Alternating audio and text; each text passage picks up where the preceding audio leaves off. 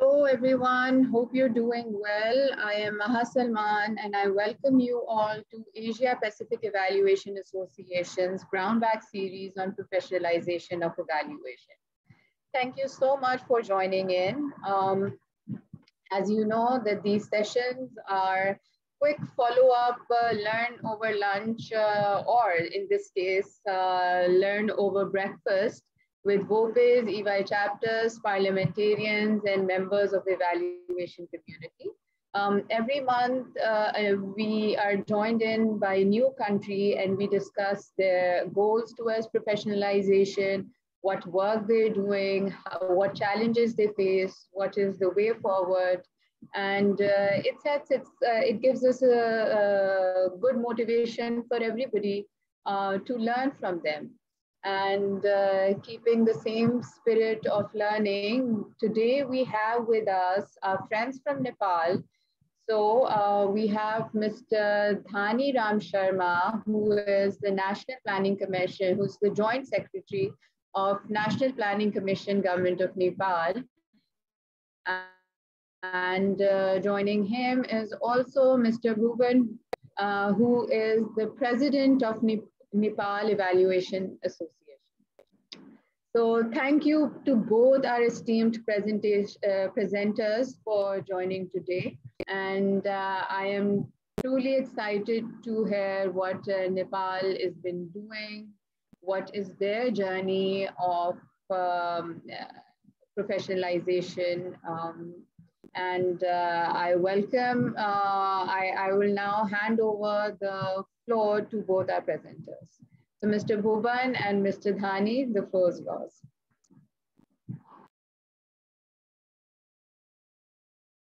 So thank you, Salman. So should I go first? Okay. Sure, sure, sure. Please. Okay. Uh, uh, thank you very much, uh, Maha. Uh, first of all, I would like to thank uh, the organizer, organizer uh, Asia Pacific Evaluation Organization for uh, for this opportunity. Uh, today, uh, we talk we'll talk about Nepalese case, how we are doing evaluation, what are the, our, our experience. Uh, probably, I will more focus on uh, government perspective, and Bhuvanji is uh, working in, in this field for a long time. He will uh, he will explain more about uh, the the uh, the uh, uh, professionals perspective. I will more focus on government's perspective. Uh, let me start with uh, the evolution of uh, evaluation in Nepal, but I will not go detail in, in this in this slide.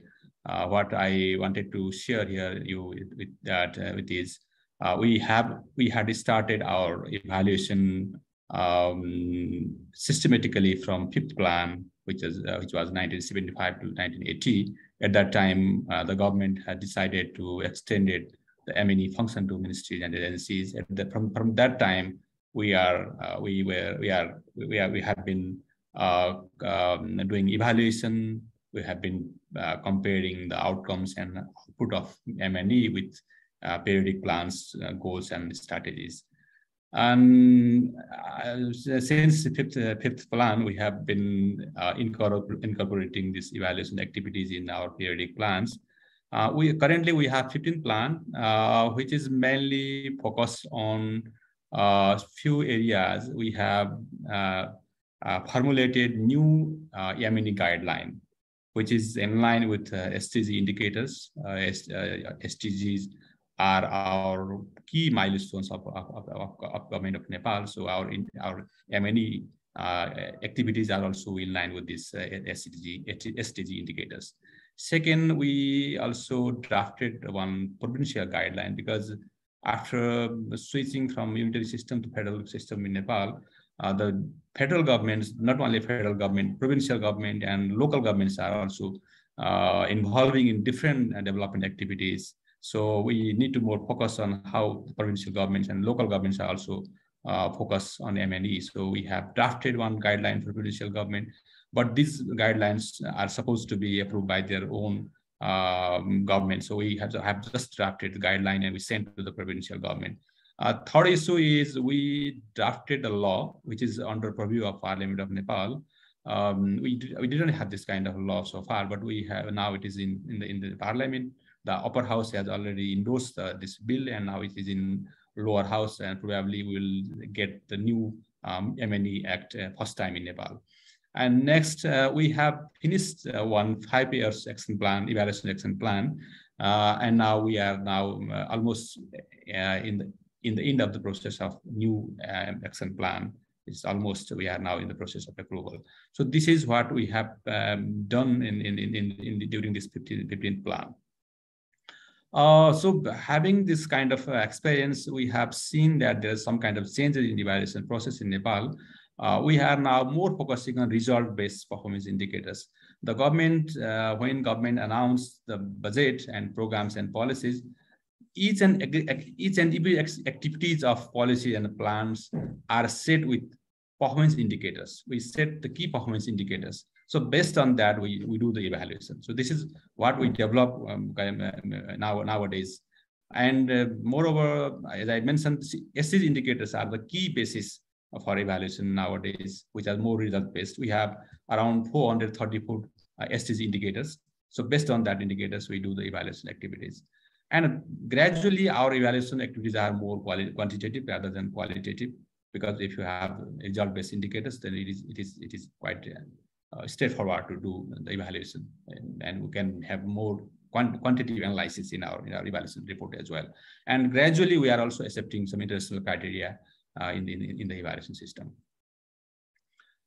Uh, but there are some issues uh, to be to be resolved. Especially, there are different agencies; they have different own uh, evaluation system. So we need to have more uniformity in the evaluation system. Still, there is no uh, uniformity, though we have guideline, but still we need to be more uh, work on on that that issue. Second, uh, still the more uh, we we have more focusing on financial progress. When we do the evaluation, we just see what what is the expenditure, what's the allocated budget, and what is the expenditure, real expenditure. So uh, we should more focus on physical progress or impact evaluation. But so far we have we have, we have still we are there is a domination of financial uh, evaluation rather than physical physical progress. Similarly, we have problem of dis disaggregated data in, in some in some areas.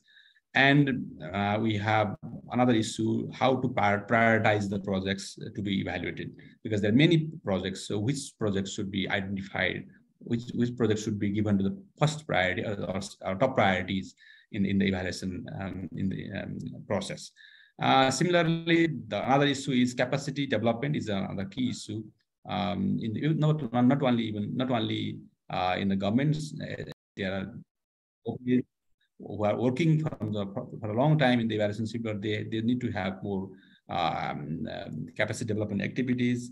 And the government side, the ministries or the National Planning Commission, they have separate division of MNE, uh, but uh, because of the frequent reshuffle of the staffs, uh, we need to uh, regular update or regular train them uh, what is just basic training for them. What is what is evaluation? What are the process? Why you do evaluation? Something like that. So we have not um, established a kind of cadre based evaluation system within the government agencies. And not only within the government agency also also uh, also uh, the private uh, or, or, or uh, professionals also uh, they need to be capacitated more as compared to today. And next issue is um, we need to have good networking with professionals uh, sometimes we do the do the meetings, but still uh, we need to expedite those those process. Uh, what are the new issues in the evaluation field? How can we share? How can we share share better? Uh, how can we share the ideas so that we can have better evaluation system? So we need to be more. We need to make this networking system more robust. This is one. This is another issue. Uh, so what we are thinking to do is now uh, we are now formulating new action plan, which is going to be approved very soon. Uh, I will talk about uh, this action plan later on. Second, we also mobilizing ways uh, how can capacitate how can we capacitate them so that um, uh, we, we can have more uh, more uh, independent evaluation uh, to improve the government um, development activities. Uh, third one, we have, have also realized this code of conduct to the evaluators. We have draft code of conduct. We, we are also um, going to approve this code of conduct to the evaluators. Uh, fourth issue, as I mentioned, we have new, we are, we are, we going to have new act. So new act is more focused on what are the evaluation basis and what should be, um, how, how, should, how should we prioritize the evaluation activities. All those issues are, are, are, are covered by this new act, a proposed new act. So I think when you, when you do have this kind of new act, maybe we, we, can, can have better evaluation system in, in the government uh, side in Nepal. Similarly, we also talk about this formal education program, formal curriculum for the for the universities, but we still we have not done. So there's some little part in some faculties, there is some part of evaluation and monitoring um, subject, but this is not uh, very comprehensive. So we need to be more focused on that issue as well. And regular training also, we, we, we are we are we are we are we have been uh, trying to have regular regular training program as well. These are the some issues that we um, we need to uh, uh put forward in the in the days ahead.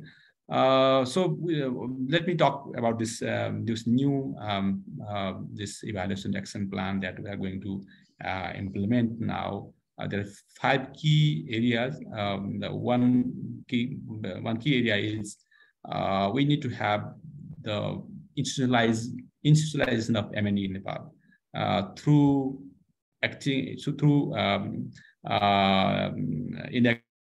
enacting the new law. That is one part. When we get law, it will be it will get more a law legal basis.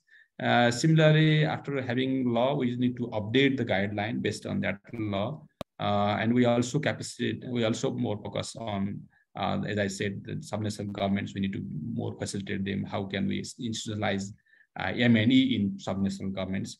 Uh, these are some uh, activities with, that we are um, um, planning to have in to have to enable the to, to enable the environment uh, to enable the MNE environment. Second issue is capacity of development. Uh, in this field, as I said, um, because of the staff frequent staff reshuffle, we uh, we need to have regular meeting, regular training. Uh, this time also we have proposed one training. Next week we are going to have one one training one interaction program and one training. Uh, interaction program is mainly for high officials of Nepal who are involving in MNE and also for the member of parliament, member of National Planning Commission. Uh, there will be a half day interaction program. Two very renowned MNE experts will, will, will, be, give, will be giving their presentation in this, in this interaction. And we have three days uh, the training program for MNE officials uh, in different ministries and National Planning Commission. In this course, we have two kind of experts. One is who are working in the working within the government agencies, uh, who are working in the MNE activities, and second, we have uh, we have invited VOPEs, uh, like um, uh, there are two, three um, um evaluation associations. We have invited them to make the class. So, so this is kind of joint collaboration with uh, with, with uh, um, evaluation professionals. So we are going to have this kind of training. I'm I'm handling this training as well. Uh, so similarly, we also need to have need to develop the capacity of professionals as well, VOPEs as well. So this is, this is, again the government National Planning Commission is a is a key agency of monitoring and evaluation. So we need not we need we need we need, we necessarily not uh, focus more on government evaluation uh, government evaluation staffs, we also uh, we are also focusing on how can we capacitate the private or experts uh, or who are uh, who wanted to who want to have uh, who want to be a, MNE experts. So we also need to focus to capacitate them. So this is another um, we are we, we, I think we are planning to have and. Uh, another issue, the NPC, would, we, are, we are envisioning that NPC will be the uh, key um, this evaluation agency in, in, in Nepal as the kind of excellence center for evaluation in Nepal. And fourth, the third issue is planned evaluation. So we need to be make more systematic evaluation. How can we prioritize the national priority projects? How can we prioritize the uh, transformative projects and other projects? So we, we, have we should have some kind of basis to prioritize the uh, uh, projects and programs to select for evaluation. How can we, we can we need to have how how which methodology we use and how we schedule. So th those issues also should be uh, in systematic manner. So we are uh, we will more focus on this planned evaluation. And fourth issue is networking. As I said, um, we need to have regular meetings with VOPEs, uh, VOPEs who are updated in, in, in the evaluation field what's their ideas, what what government really need uh, to have from VOPEs. So this kind of regular meetings. When I joined this division, I have two times uh, regular networking meeting with with VOPEs.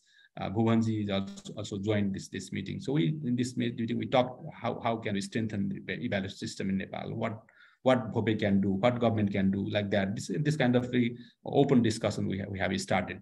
And fourth issue is uh, dissemination. So I think evaluation, when you do the evaluation, this is not the uh, this is not the end of the story. We should disseminate the reports. What is the main feedback? We, what what we need to improve. So this kind of all the evaluation reports should be disseminated to the public domain and to the to the to the uh, management so that they can have better management response plan. Not, not only the just getting the report, the management should make the res management response plan in, in each and every suggestions. So this is also important to strengthen the evaluation system. So we have, we also we have also incorporated this dissemination issue in also in our action plan. These are the key issues that we have uh, we have incorporated in this action plan, and we are going to implement from uh, five years action plan uh, from now.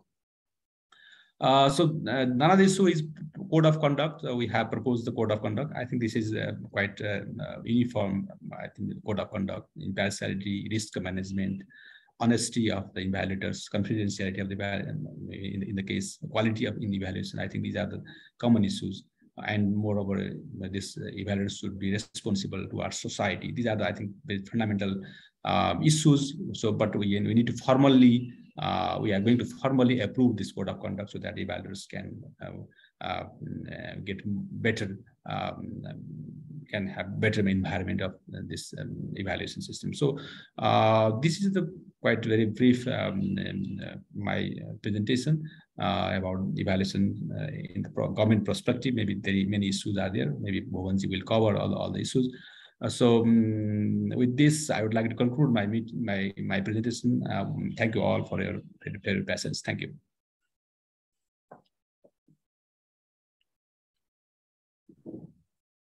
Mr. Dhani. Um, Mr. Bhuvan, can you share your slides now? Okay.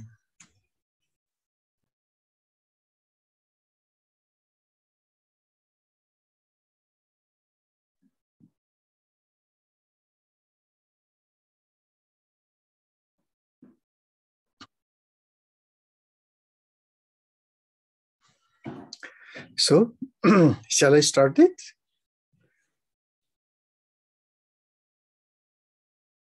Uh, yeah, please go ahead, Bhuvan. Okay. Uh, good morning, everybody. Uh, I, I'd be talking uh, on this experience of Nepal Evaluation Society.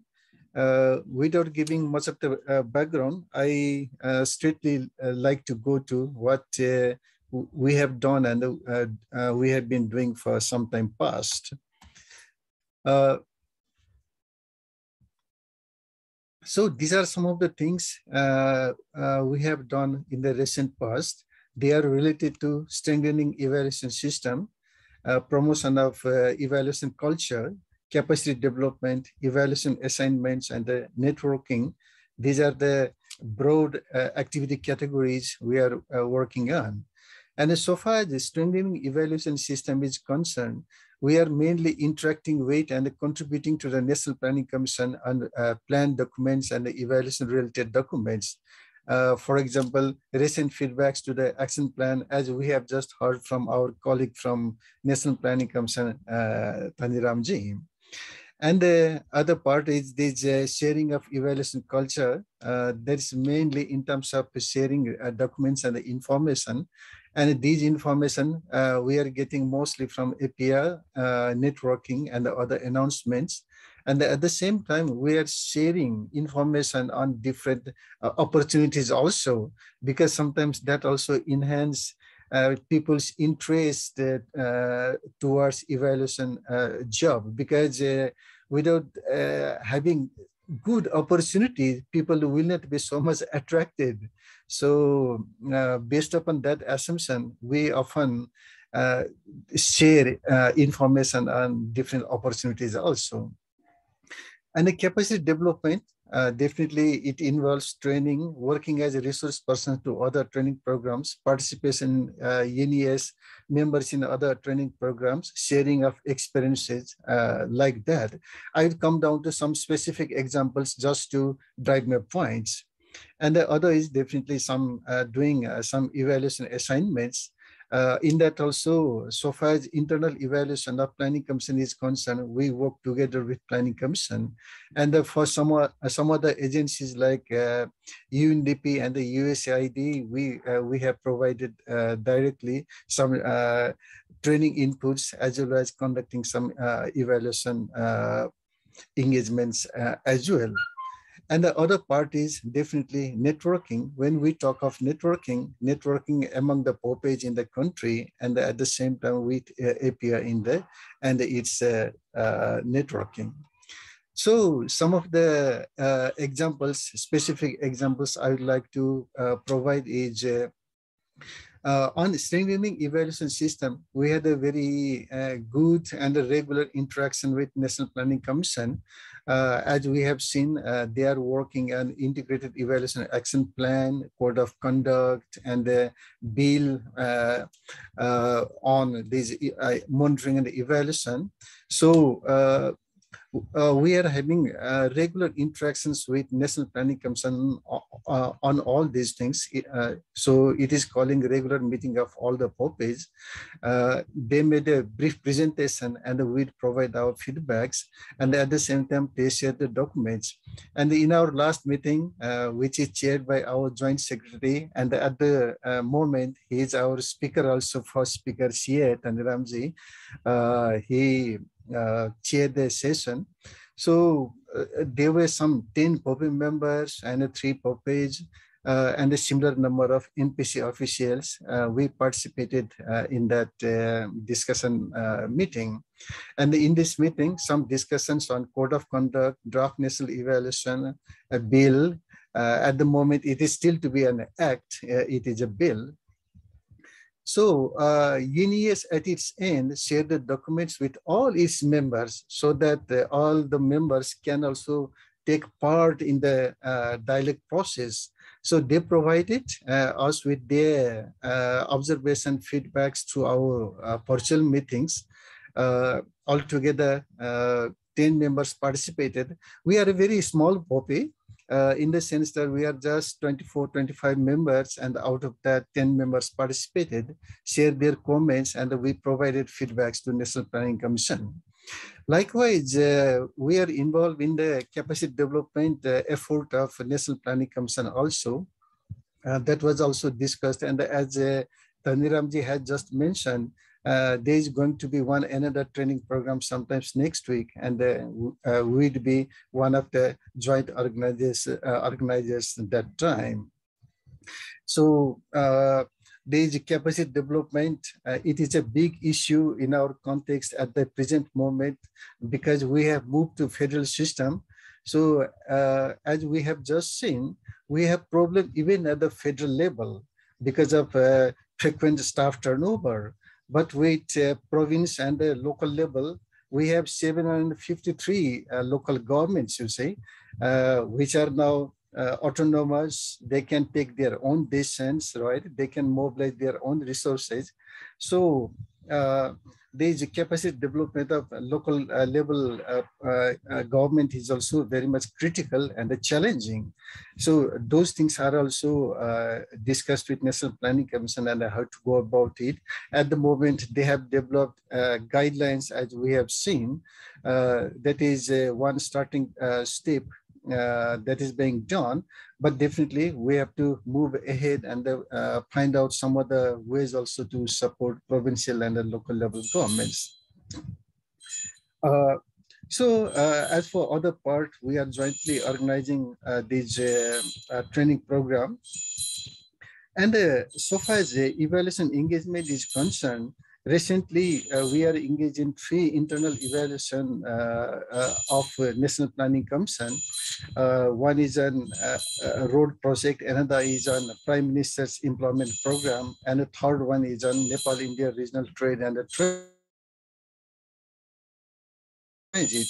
So our members, they took part in these uh, engagements and provided their inputs uh, in uh, all aspects from uh, designing to uh, report writing. and so far as this evaluation culture promotion is concerned,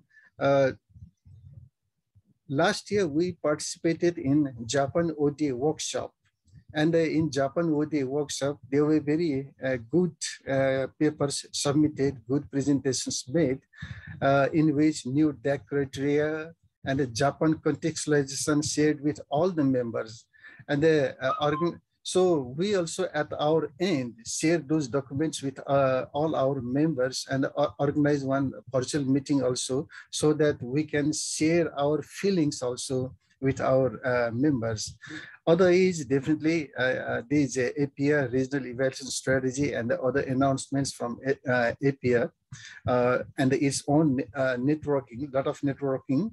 And uh, there are number of webinars that are being organized by this APEA networking on methodological aspects, which, which are going to be very much helpful in professionalization of evaluation in Nepal.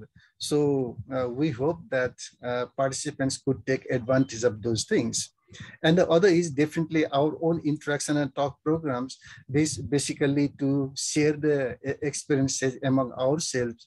And uh, some of the topics recently we covered are Japanese experience, institutionalization of evaluation in Nepal, and the challenging in implementing SDGs, use of online tools for evaluation. Because of this uh, uh, COVID-19, a lot of uh, online uh, practices are there, and now that's likely to be some sort of permanent feature in the future also, even if face-to-face -face, events are also possible now. And the other part, this capacity development and evaluation assignments, as uh, I have mentioned about the three projects uh, we have worked with uh, National Planning Commission.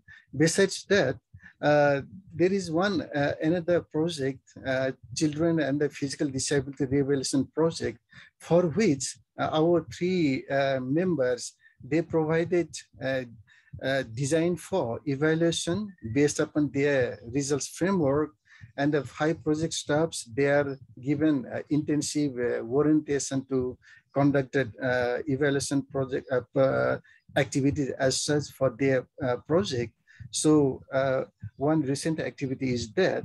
And it's very much similar activity we have done for another projects also. Uh, this USAID Surgical Innovation Project, that is also for uh, di uh, disabled people, and in which two NES members were involved and six uh, project staff trained. At the same time, uh, both working together, they undertake the uh, this evaluation assignments also. So uh, three parts involved in that. Design the evaluation activities. Second, train the staffs. And third, undertake the uh, evaluation assignments as well. I think these are some of the stops I quickly like to. And the way forward, uh, we before, like to. Sorry, sorry, Mr. Bhuban. Before uh, we hear the way forward, I think we should directly jump to the questions. And if there are any questions that addresses the way forward, you're uh, definitely you can uh, go ahead and uh, because in the interest of time, I would really want our participants also yeah. to interact with both of you. So I'm really, really sorry. Uh, but uh, we would, we would uh, really uh, like our participants to um, have an interaction with both of you. We don't want okay. them to miss this opportunity. okay. So, um, so for that, uh, in the interest of time, um, I would like to open the floor for questions. We already have a question uh, from um, uh, Carlos. Uh, and uh, the uh, so Mr. Bhuban, maybe you can take this. And it is that is there any specific initiative focused on supporting emerging and young evaluators? So if there's anything in the way forward, also you could talk about that perhaps. Yeah.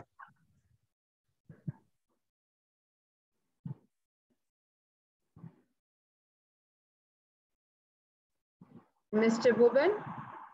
Yeah, I'm trying to go through uh, the chat. Okay, sure.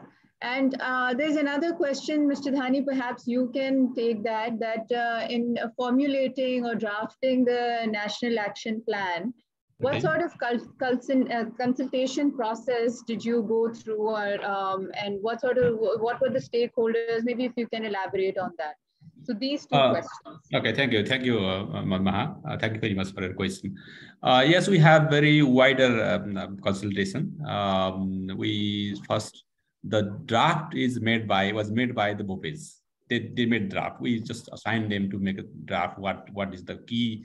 Uh, what are the key strategies or key actions to be implemented? So they made the first draft. Then we got the draft from them. Then we had the discussion with our government officials, uh, our National Planning Commission members. We have rigorous discussion. And based on this feedback, again, we sit, we had interaction with VOPEs again, and we revised this, uh, this action plan and after having a number of meetings, number of interaction with uh, VOPEs and uh, government agencies, in, uh, government staffs who are involved in M&E, then we just made this draft. And we, once we have already discussed with um, planning commission member, and almost it is just for, for formalizing process of approval. That's that's the that's the process what we have made. Great. Um, thank you so much, Mr. Bhuban. Would you like yeah, to add something? Uh, yeah, I tried to browse through some of the uh, uh, these comments also, but uh, I think that's the uh, only one at the moment. Uh, definitely, uh, at the moment, we are not actively engaged in that process. There's supporting young and the emerging evaluators, but recently, but recently here also in Nepal, one evaluate networking is now established in which we are also supporting from our side. And uh, we are trying to encourage uh, young evaluators to be the members of that group and they see how we can support to them uh, in terms of, let's say, uh, uh, sharing of information, capacity development, and uh, more than that, showing them what are the challenges of evaluation career uh, career also right? So that they should be prepared at the very beginning. So uh, we are in touch in that process and uh, i would like to take this uh, uh, occasion to stress one uh, particular point also in the sense that at the moment we are working very much closely with national planning commission that's there. And another stakeholder very much important in our case is NGO activities. And the NGO activities are coordinated by one, uh, there's a social coordination council in Nepal, which are also responsible for managing, undertaking, and uh, uh, going for evaluation uh, activities for uh, NGO related uh, developmental activities. So we are trying to be in touch with them also to broaden our activities. And in that context, uh, National Planning Commission is going to be very much helpful to us to have some sort of connect between our two agencies. Thank you. You, Mr. Bhuban. And I see you've already answered uh, Pawan's question regarding the NGO uh, within this uh, answer. So uh, one very, very last question. And meanwhile, our speakers answer this question, I would request you all to turn on your camera so that we take a picture also a group picture while the speakers are addressing this question. So the last question is from Francis and he's asking, does, the, does your professionalization of evaluation include certification? If yes, how it is done and how VOPEs are engaged? Is there a curriculum to be followed? So um, either if you or whichever, whoever wants to address this, please go ahead. I think Bhuvanji, you talk this, is I reply this is right. uh, uh, I don't think uh, at the moment uh, uh we have these things. Uh, definitely, we'd be moving towards that. And as we have just seen, uh, we are working for having a code of conduct at the moment.